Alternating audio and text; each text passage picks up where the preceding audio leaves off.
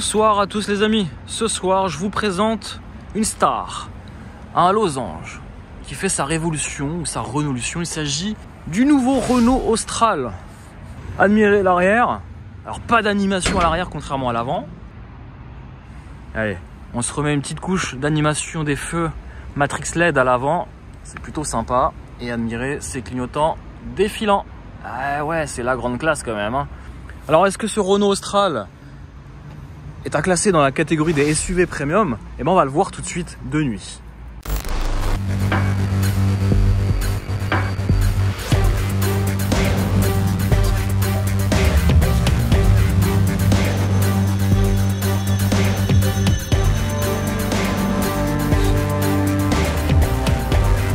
Alors, avant de commencer, regardez, malheureusement, on n'a pas d'éclairage à l'arrière. Les passagers sont, ont été un petit peu oubliés. C'est dommage. On passe à l'avant. Alors, regardez déjà cet intérieur qui s'illumine. Et regardez-moi ça. Ça, c'est la grande classe. Avec une très bonne qualité euh, du système audio Harman Kardon avec aussi une belle qualité euh, d'éclairage d'ambiance, on va le voir. Malheureusement, on n'a pas d'hologramme, ça aurait été bien d'avoir un petit hologramme Renault quelque part par terre. Et puis surtout, on est sur une finition haut de gamme, hein, à plus de 50 000 euros. On aurait aimé avoir des seuils de porte rétro-éclairés, même si c'est ici euh, écrit Alpine, on aurait aimé les avoir allumés. On rentre à l'intérieur, claquage de porte de qualité. Bienvenue à bord des euh, nouvelles générations de Renault. Et là, on frise quasiment le premium, même si effectivement, on a un peu de plastique un peu partout sur les parties basses, mais honnêtement, il y a un réel gap de fait sur les anciennes générations.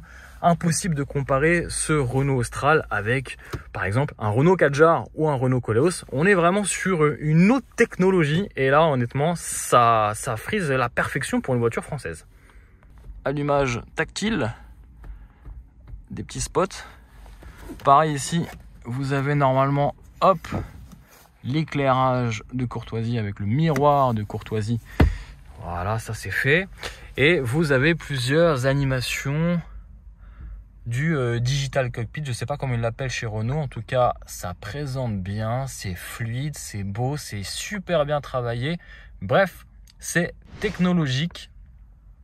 Et ici, vous êtes à bord du Renault Austral, ça vous le savez mais à bord d'une version full hybride. Alors attention, c'est pas un plugin hybride, c'est une version hybride sans câble. Donc ça, c'est plutôt pratique. Et regardez, consommation de 4,3 litres 100 pour une autonomie. Hop, j'allume ici. Voilà, petit éclairage aussi avec ces projecteurs Matrix LED qui éclairent de la plus belle manière la nuit. Et ici, vous le voyez, hop, 860 km d'autonomie. Alors ce qui est plutôt pas mal, c'est ce petit bouton qui va permettre de configurer un petit peu aux petits oignons eh ben, le, dynamisme du châssis, entre guillemets, malgré le fait qu'on n'ait pas, qu'on de, suspension pilotée. Et regardez, là j'active le mode sport, le mode perso, qu'on va voir après, donc on peut modifier aussi l'éclairage d'ambiance. On est sur une version full option à finition haut de gamme, esprit alpine. Donc c'est vrai que là, on a le top du top entre les mains. Allez, je vous embarque à bord de ce Renault Austral de nuit. Attention, il ne s'agit pas d'un essai, mais simplement d'une découverte de nuit. Et euh, je dois vous garantir que ça vaut le détour à bord de ce Renault Austral.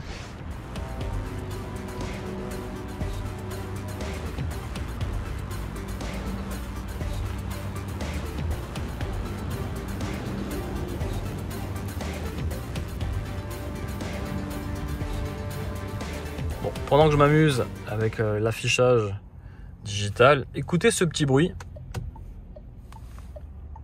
C'est plutôt mignon.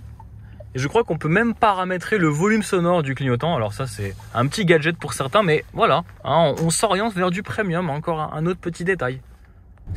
Et honnêtement, Renault a eu l'intelligence de collaborer avec euh, Google et ça c'est une bonne chose. Hein. Ça valorise finalement euh, plein de choses, hein. aussi bien la map qui est mise à jour, aussi bien toute l'ergonomie inspirée d'Android Auto. C'est vraiment euh, bah, bravo, bravo Renault d'avoir osé franchir le pas.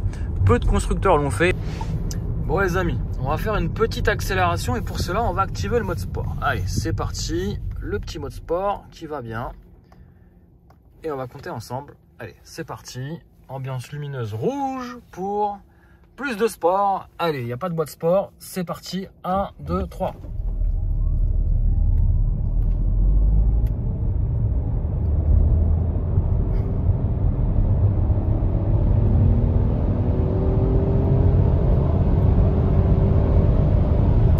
Bon voilà. Vous l'avez compris, ce n'est pas une voiture de sport, donc je vais me remettre rapidement en mode éco finalement, ou en mode perso, allez en mode confort, pour profiter bah, finalement hein, de, la quiétude à bord de ce Renault Austral, en tout cas vous l'avez compris, 0 à 100 effectué en 8,4, 8,5 secondes, vitesse max 175 km/h bridé. Ce n'est pas un SUV sportif, soyons clairs. Bon les amis, je voulais euh, m'arrêter un petit peu quelques secondes pour vous présenter l'intérieur. Alors je ne vais pas tout vous détailler, mais, c'est vrai que honnêtement, Renault fait un, gap hein, en termes de, finition, de présentation, de technologie. Hein. merci Android Automotive bah, de, participer à cet agrément de conduite, même de nuit. Je vous assure, j'étais loin d'imaginer faire une vidéo de nuit sur une Renault. Écoutez, là c'est vraiment une, belle surprise. Alors effectivement, il y a des petits détails de finition. Ici sur du premium, on aurait relié ces deux bandeaux lumineux par exemple, mais honnêtement c'est très bonne facture. Bon, ok, on a un peu de plastique dur ici, mais, mais quand même, voilà, ils ont fait une petite surpiqûre. Ici, couleur bleu alpine. Alors, on est sur une finition alpine, esprit alpine, un peu comme une, une euh, AMG, AMG Line, hein, clairement, chez Mercedes, ou encore une fois, Airline chez euh, Volkswagen. Donc, encore une fois, euh, Renault a vraiment fait sa révolution. Alors c'est un langage marketing, mais en vrai il y a une vraie, un vrai gap sur les finitions. Regardez ce petit bouton chromé Ici, on a le rappel des boutons physiques très pratiques. Tu veux régler la clim ici, hop, c'est très simple. Tu baisses aussi le niveau de ventilation, tu peux même la couper.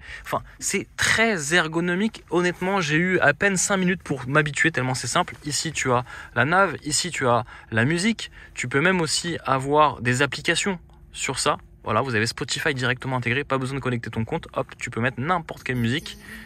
Hop, là on est sur Angèle, on va juste ça.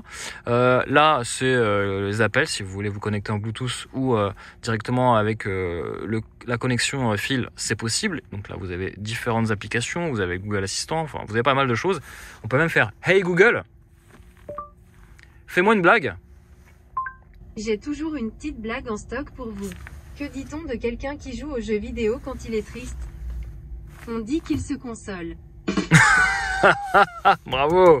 Bon voilà, c'est vraiment sympa, c'est fluide, regardez la navigation elle se fait vraiment facilement, tu peux tout configurer, tu peux configurer directement euh, la, euh, la couleur d'ambiance, enfin c'est vraiment mais vraiment franchement bravo Renault. Euh, j'étais loin d'imaginer euh, en, essayant le Austral d'avoir autant de gadgets. Pareil, tu peux aussi éteindre la lumière d'ambiance pour tous ceux qui n'aiment pas du tout ça. Donc je l'ai mis à fond pour la vidéo. Tu peux tout choisir, tout paramétrer. Vraiment, c'est ultra fluide. Regarde, c'est voilà, tu peux pas aller plus vite. Hein. Voilà, tu peux gérer tous les paramètres moteurs, l'effort de direction, euh, l'angle. Tu as 13 positions d'angle sur les roues arrière directrices. Non, honnêtement, c'est c'est très fluide. Tu peux voir le fonctionnement du moteur. Tu peux, euh, tu peux, voilà, tu peux gérer plein de choses. Et ça, c'est ça qu'on aime. Voilà. Tu as la caméra 360. Regarde, c'est trop bien. Regarde, tac, tac, tac. Bon, un petit effort de fait quand même. Mais bon, les ombres au carré, bon, hein, on n'est pas sur du premium, les gars. Mais c'est vraiment pas mal. Regarde, t'as les petits euh, rappels des clignotants ici sur, le, sur, le, sur la miniature. Non, c'est vraiment sympa. Franchement, Renault, vous nous avez bluffé. En plus de ça, je peux même activer le massage. Massage lombaire, relaxant, dynamique. Bon, on n'est pas sur une série 7 avec les, euh, les 20 massages possibles, mais en tout cas, c'est plutôt pas mal. Là, l'accès facile, bah, dès que j'ai le contact, j'ai euh, pas le volant qui se recule parce qu'il est réglage manuel, mais tu as le siège qui se recule. Vraiment pas mal. Bon, le passager est un peu moins gâté, mais en tout cas, le conducteur sera euh, content. Qualité de l'air, voilà, tu peux tout gérer. Tu as un purificateur d'air. Le véhicule, tu peux gérer l'accès, l'accueil, l'éclairage extérieur, les essuie-glaces, l'habitacle. Tu peux gérer l'affichage tête haute.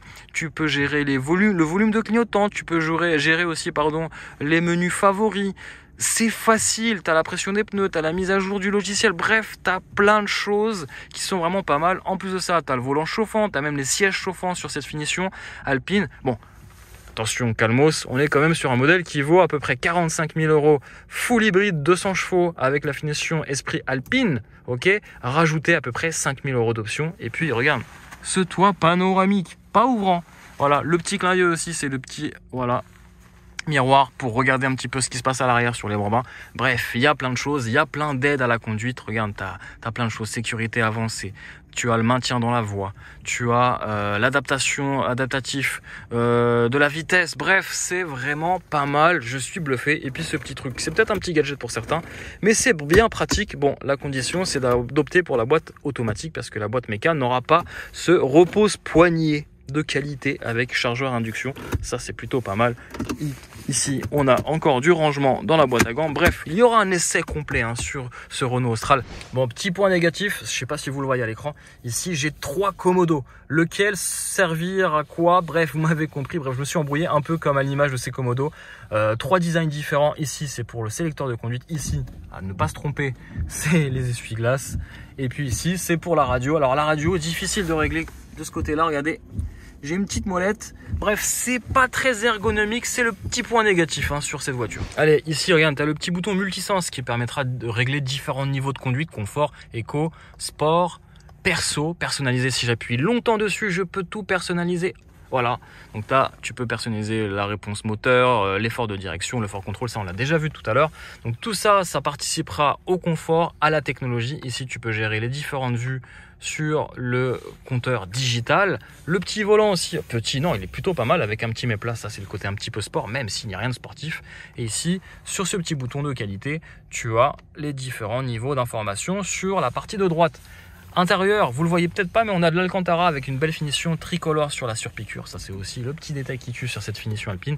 Et sur la partie gauche, sur cette partie-là, tu vas gérer plutôt le régulateur de vitesse adaptatif. Tu vas gérer aussi avec ce petit bouton euh, la régulation automatique de la vitesse en fonction de la lecture des panneaux. Et là, tu peux gérer aussi la distance de sécurité. Et, euh, et là, ça sera le limiteur de vitesse. Ici, petite palette au volant. Non, non, ce n'est pas pour passer les rapports, mais pour gérer l'intensité de récupération d'énergie que tu vois ici sur cette partie bleue plus pour réduire l'intensité et moins pour augmenter. Je sais, ça n'a pas de sens, mais c'est comme ça. Et sur la partie gauche, tu peux régler différents niveaux de maintien de voix, enlever le SP et aussi ouvrir le coffre sans bouger de ton fauteuil. Ça, c'est plutôt cool. Et là, tu règles le niveau de l'éclairage matrix LED. Voilà. Et ici, tu as le parking automatique, un peu comme situé à la même manière qu'une Mercedes. Et ici, tu as, je crois, euh, le désactivation de euh, le stop and start. Voilà. Vous savez tout à bord de ce Renault Austral. Système audio Armand Cardon, plutôt de qualité, honnêtement. Je suis assez bluffé. Bref, presque un sans faute sur ce Renault qui euh, vise clairement le premium. Hein. Allez, on continue l'aventure de nuit à bord de ce Renault Austral.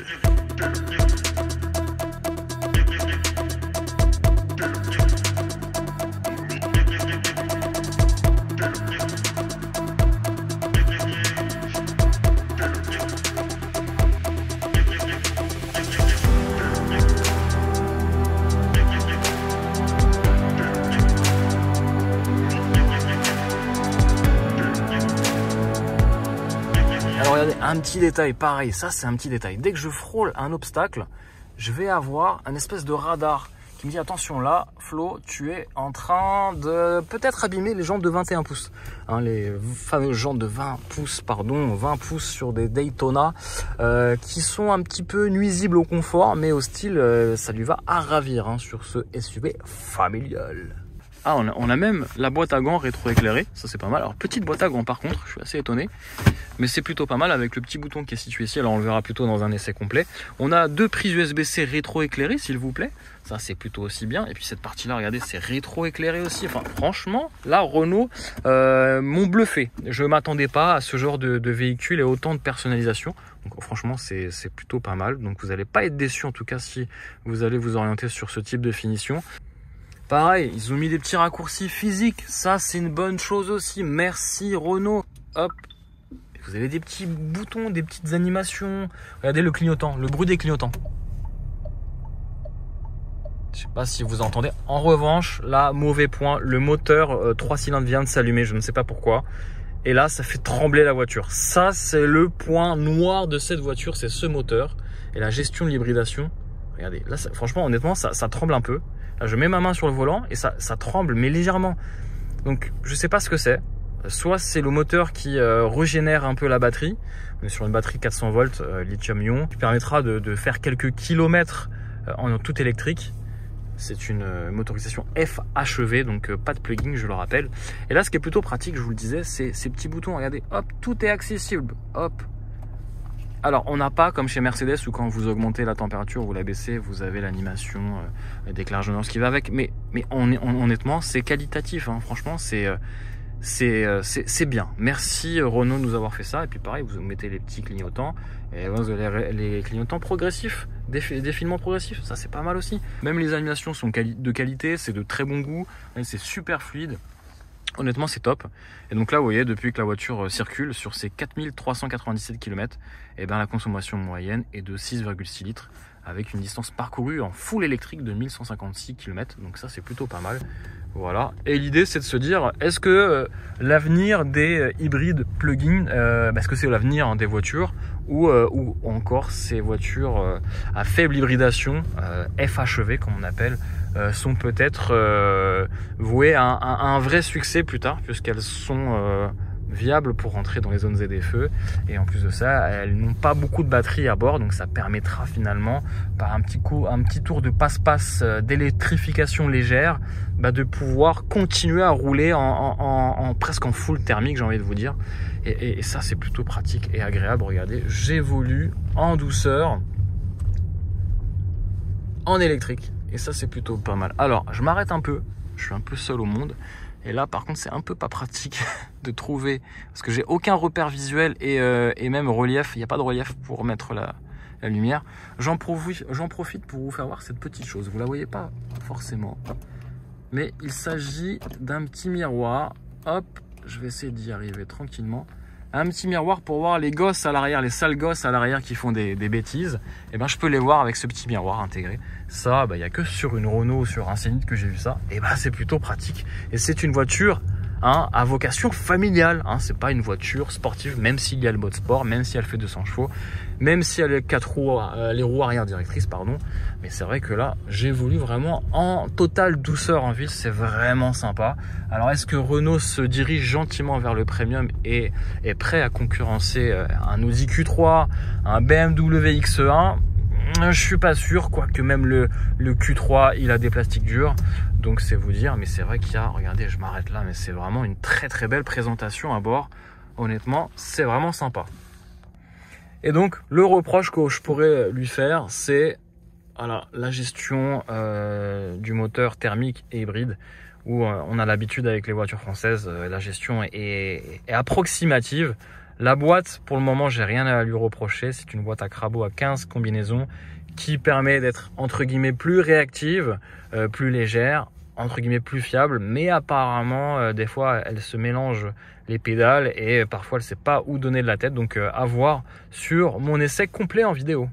Alors ce petit gadget, alors c'est pas le pommeau de vitesse, c'est juste un repose poignet et c'est vraiment sympathique. Ben, c'est bien, en fait c'est très modulable donc tu peux ranger aussi bien des affaires ici que ici. Tu peux aussi t'amuser à faire ça, enfin bref.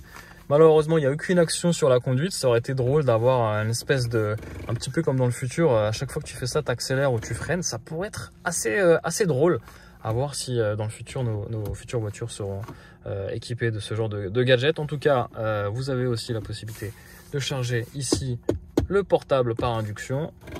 Donc honnêtement, belle petite innovation pratique en tout cas. Bon, je vous le rappelle, hein, 200 chevaux, et à peu près en cumule 400 Nm de couple, 250 Nm de couple juste pour le moteur thermique aidé ponctuellement par le moteur électrique qui peut atteindre à peu près ouais, 400 Nm de couple. C'est un peu difficile à calculer les valeurs de couple, mais voilà, vous avez à peu près toutes les données techniques. Et en termes d'éclairage, là par contre, euh, le Matrix LED est plutôt pas mal. Regardez, hop, là, on n'y voit que du feu, ou plutôt que de la lumière. Voilà, ça c'est plutôt aussi bonne chose. Et puis vous avez aussi l'affichage tête haute, euh, on va dire, euh, qui fait euh, le taf, puisque ça nous indique les panneaux de vitesse et la vitesse compteur du véhicule. Donc ça c'est une bonne chose. En tout cas, belle surprise de nuit pour ce Renault Austral. Et malgré le fait que ça ne soit pas un essai, eh ben, de nuit, je vais quand même vous dire un petit peu mes consommations. Je suis sur 200 km effectués entre route, autoroute et ville, je suis à 5,3 litres au 100, donc ce qui est plutôt pas mal pour une autonomie à peu près de 850 voire 900 km avec un plein. Le réservoir fait lui 58 litres, donc c'est plutôt euh, un bon score. Donc ce euh, Renault Estral est aussi efficient, mais pas sportif, vous l'avez compris. Voilà, pour 50 000 euros, vous avez le haut de gamme de chez Renault. Alors ce qui est intéressant, puisque c'est un hybride, regardez là, je roule en électrique. Et si je force un peu l'accélérateur, hop, c'est le moteur thermique. Et là, honnêtement, la gestion entre le monde électrique et le monde thermique est plutôt bien gérée. Seul petit problème, c'est que parfois, je ne comprends pas pourquoi, il y a des vibrations, le moteur comme s'il se tournait euh, presque au ralenti lorsque je suis en électrique. C'est un petit peu surprenant à voir si certains ont rencontré, aussi ce petit problème. Je ne sais pas si c'est un problème ou euh, juste le moteur qui se remet euh, en route pour régénérer peut-être la batterie. Je ne sais pas en tout cas. Bon, le petit point négatif, c'est quand tu mets la marche arrière et tu actives le fort contrôle qui s'active automatiquement. Dès que tu dès que tu fais une petite marche arrière, écoutez le bruit.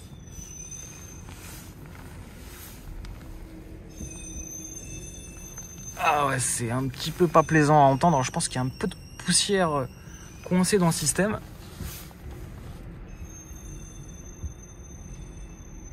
Ouais, c'est pas top, hein. Bon, un autre petit détail là, je suis en train de régler mon siège et là, il vient de détecter que je suis en train de, bah, du coup, d'affiner ma position de conduite. Alors, siège électrique, et ça, c'est plutôt pas mal. Et le siège, je peux régler aussi la mémorisation du siège dès que je reviens dans la voiture. Ça aussi, c'est pas mal. Regardez, Press Event Austral 83, la position de conduite a été modifiée. Est-ce que tu veux la modifier? Donc, du coup, ça va enregistrer pour la prochaine fois euh, et faciliter mon accès à bord avec, euh, en enregistrant la bonne mémorisation euh, la position de conduite. Un autre bon point. Regardez, la caméra 360, c'est plutôt pas mal. Et ce que j'aime bien, moi, c'est les quatre roues arrière directrices qui permet franchement de manœuvrer de jour comme de nuit avec une petite alerte. Alors ça, c'est un petit peu chiant ici, le Komodo, parce qu'on peut vite se tromper. Voilà.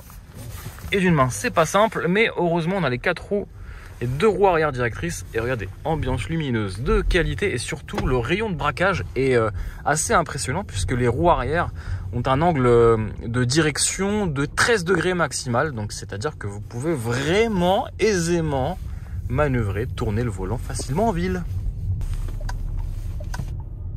Et regardez ça, le fort contrôle, c'est vraiment pratique.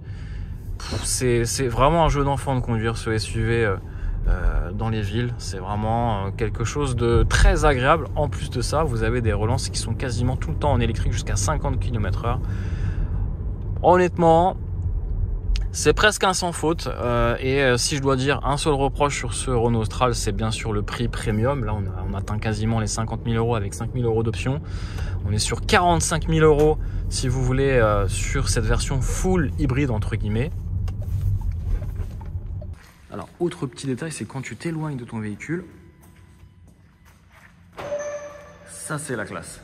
Voilà les amis, bah, j'espère que cette petite découverte de ce Renault Austral vraiment tranquille à bord vous a plu. En tout cas, moi je suis assez conquis et, euh, je tiens à souligner l'effort qui a été fait par euh, Renault, en tout cas de nuit, parce que c'est vrai qu'habituellement je teste pas beaucoup de voitures françaises de nuit parce qu'il n'y a pas beaucoup d'efforts de fait sur l'éclairage d'ambiance et, euh, et, je dois vous dire que les vidéos sont très rapidement faites. Hein. En une ou deux minutes, on a déjà fait le tour tellement il n'y a rien.